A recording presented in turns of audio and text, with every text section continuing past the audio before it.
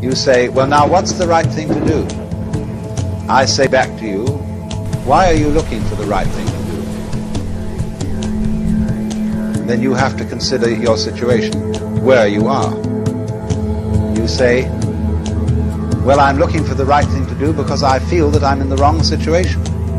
I don't have peace of mind. Why do you want peace of mind?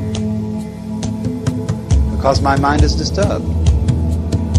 Then, in other words, you, as a disturbed mind, are trying to find peace of mind. Your quest for peace of mind is the same thing as having a disturbed mind. Now, if you don't have a disturbed mind, you won't ask for peace of mind. Well, how can I quiet my mind? Why are you asking to quiet your mind? Because it's disturbed. You see where you are? So in this way, by this dialogue, the, the guru, the teacher, brings a person back to center.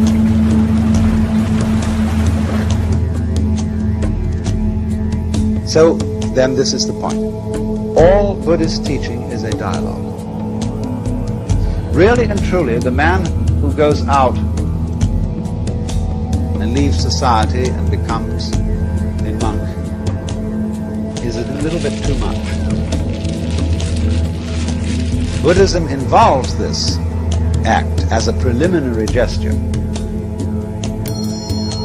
But what it comes to in the end is the position of what's called a bodhisattva. A bodhisattva means somebody who went out of society, or we should say gave up the world in some way, the, the, the robe, took on the discipline. He found what he was looking for, but his finding it was absolutely simultaneous with his coming back into society. Called a bodhisattva as distinct from a pratyeka Buddha, which means a private Buddha, one who goes out and doesn't come back. And the bodhisattva is considered as having a superior attainment, superior insight.